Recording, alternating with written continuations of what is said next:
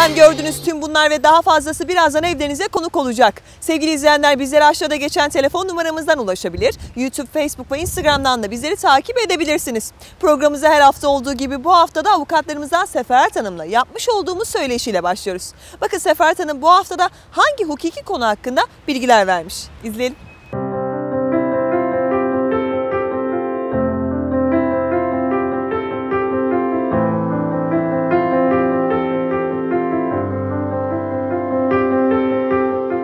Merhabalar sevgili Londra Mahallesi izleyicileri. Efendim her hafta olduğu gibi bu haftada avukatlarımızdan Seferet Hanım'la birlikteyiz. Öncelikle bir kez daha Londra Mahallesi'ne hoş geldiniz efendim. Hoş bulduk, teşekkür ederim. Efendim bu haftada aslında e, yine çok önemli e, konulardan birini işleyeceğiz sevgili Seferet Hanım'la birlikte. Göçmenlik hukuku. Efendim e, aslında bu konuyla ilgili keşke canlı yayın yapma imkanımız olsaydı izleyicilerimizden de e, mesajlar alabilseydik. Çünkü çok fazla soru soruluyor bize dahil. Ee, öncelikle hemen size sormak istiyorum. Ee, İngiltere'ye yerleşmek, yaşamak için hangi yöntemler gerekiyor? Ne yapmak gerekiyor? Hangi başvuruları yapmak gerekiyor? İngiltere'ye yerleşip burada bir hayat kurmak için e, bize yapılan başvurular arasında bir iltica başvuruları oluyor. Bunlar da e, biliyorsunuz bir süre önce e, adli yardımın kesilmesi neticesinde hükümet bunlara ilişkin, bu davalara ilişkin yasal ödemeyi durdurdu. Onun için de bunlar özel ödemeli olarak yürütülüyor bu davalar. E, ikinci sırada Ankara Anlaşması için başvurular var. Buraya yerleşmek açısından en pratik ve en kolay olan ya da e, süre olarak en kısa olan başvuru Ankara Anlaşması'dır. Bir de bunun yanı sıra işveren vizesiyle buraya gelip burada iş kurmaya ilişkin başvurular oluyor. Peki Sefert Hanım, e, bu bahsettiğiniz başvuruların kabul edilmesi için e, gerekli şartlar nelerdir? İzleyicilerimize paylaşır mısınız? Burada e, mülteci statüsünde oturum almak için bazı şartlar var. E, işte kişinin geldiği ülkeden, geldiği ülkenin ne olduğuna bakılmaksızın, neresi olduğu bakılmaksızın hayati tehlikesi olduğunu ispatlaması gerekiyor ve burada güvenlik güvenlikte yaşayabileceği koşullar sağlanabiliyor kendisine. Ankara Anlaşması için e, yapılan başvurular ki bize son dönemlerde gelen en yoğun başvurular, en çok yapılan başvurular bu yönde.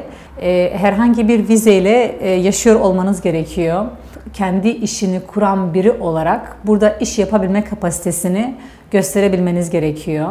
E, minimum düzeyde de olsa bir dil bilme zorunluluğu var ama dil bilme zorunluluğu çok e, da hani olmazsa olmaz bir kriter değil. Burada e, kendiniz için yapabileceğiniz bir işin e, potansiyelini oluşturmuş olduğunu olduğunuzu bir iş kurma kurabilme yeteneğinde olduğunuzu ve bunun için minimum bir paranın işiniz için gerekli olabilecek minimum bir paranın olduğunu ispatlamanız gerekiyor. Bunun için de bir e, iş planının olması gerekiyor. İşte bir projeyle gel, gelebilmeniz gerekiyor. Eğer başvurunuz kabul edilirse ilk etapta bir yıllık bir oturum e, veriliyor size.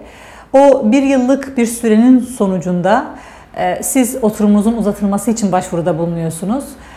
Yaptığınız başvuruda o ilk gösterdiğiniz bir yıl içerisindeki performansınıza bakılıyor. Ve eğer e, orada gerekli potansiyel varsa sizin vizeniz 3 yıl daha uzatılabiliyor. E, bu 3 yıl süresinin sonunda da e, burada süresiz olarak oturma başvurma hakkınız var.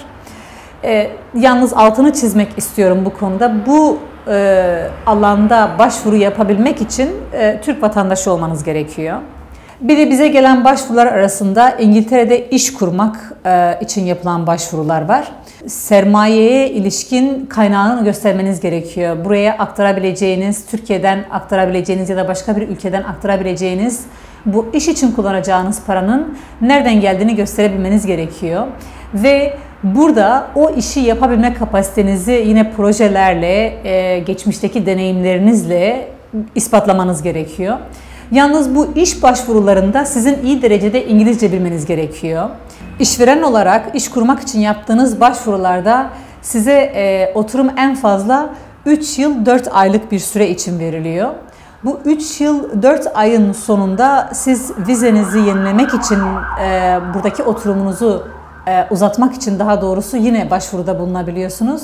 Ama bu kez başvurunuzun uzatılabilmesi için, oturumunuzun uzatılabilmesi için buradaki e, kaldığınız 3 yıl içerisinde en az 2 kişiye iş istihdamı sağladığınız, en az 2 kişiye iş e, verdiğinizi ispatlamanız gerekiyor.